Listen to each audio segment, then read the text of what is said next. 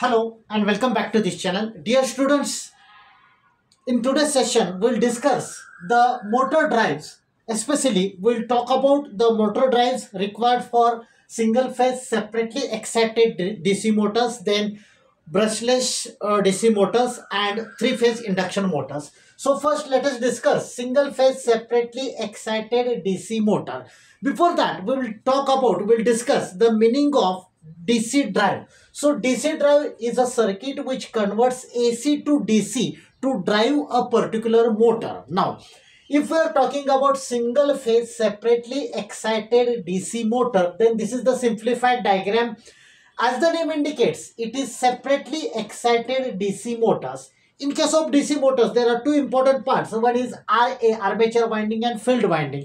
Look at this diagram. This is the field winding which is connected to some supply VF. It is connected to DC supply VF. So it is separately connected as compared to the armature winding. To this armature winding we are applying input voltage VI. RA is the corresponding resistance. This is the motor. Omega M represents the speed of rotation of a motor and this is the load connected to the motor. Now जैसे मैंने बताया ये simplified diagram है जैसे it is shown in the in the name of this uh, uh, topic that it is separately excited DC motor मतलब field winding को separate supply connection करना है uh, और आर्मेचर वाइंडिंग को सेपरेट सप्लाई कनेक्ट करना है so V F is the supply connected to the field winding if is the corresponding current flowing through the field winding now different equations are armature voltage ea is given by k five omega m जैसे मैंने बताया omega m represent the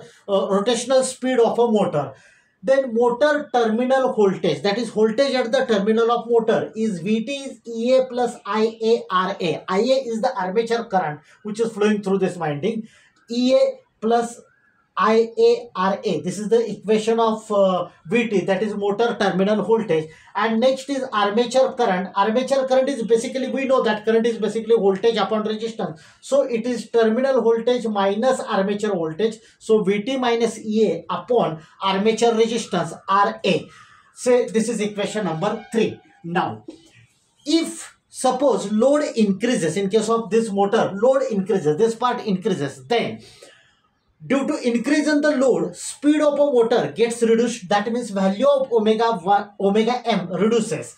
Once omega m is reduced according to equation 1 value of armature voltage gets reduced. So ea reduces. Since ea is reduced observe equation 3 from equation 3 ea is reduced. That means we have vt minus ea so this value is getting reduced. So IA increases because it is VT minus EA. This armature current increases which will develop a required torque and which will achieve the, the required speed. So this is the way how this separately single phase separately excited DC motor works. Next is drive required for BLDC motors. BLDC stands for brushless DC motors. This is the simplified circuit diagram uh, which shows the connection for drive required for the BLDC motors. Here we are applying DC supply. This is the full bridge inverter. Output of this full bridge inverter is connected to BLDC that is brushless DC motors. We are using rotor position sensors. As the name indicates, this gives the position of a rotor and it is given to the control circuit which controls phase delay that is delta and firing angle that is alpha. Again these controlled values of phase delay and firing angle are given to the full bridge inverter.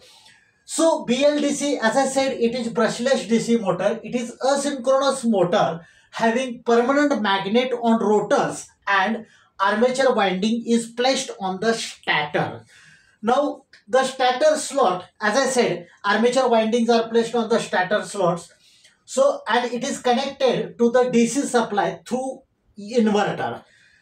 Then rotor has a permanent magnet and it has same number of poles as that of the stator slots. This van, this uh, particular thing that is rotor position sensor RPS provides information about the position of shaft to the controller. It, it provides the position of shaft of the motor to the controller that is to the firing delay and uh, firing uh, to the phase delay and firing circuit controller. Then full bridge inverter, this particular block, this full bridge inverter provides variable frequency and variable amplitude which is the requirement of the drive for BLDC motors.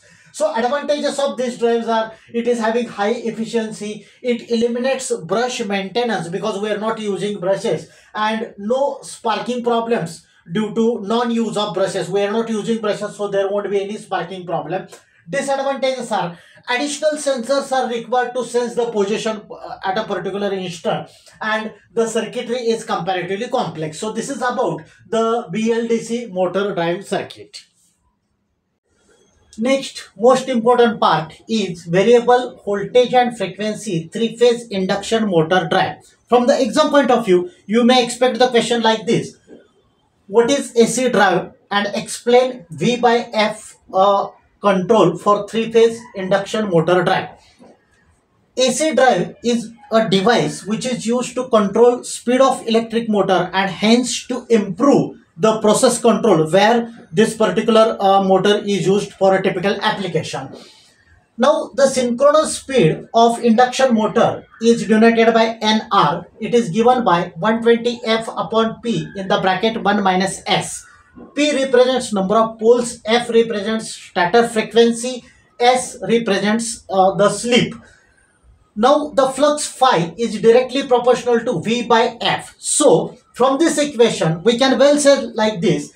Uh, you want to control the speed of induction motor. So just by changing the frequency also, it is possible to control the speed of induction motor. But this phi, which is the flux between in the air gap, is proportional to V by F. So let us say if we reduce the frequency, then flux phi will change. It may happen that there will be the core saturation. So to avoid this, both voltage and frequency are varied both voltage and frequency are changed so that this ratio v by f is kept constant in order to keep phi that is flux constant.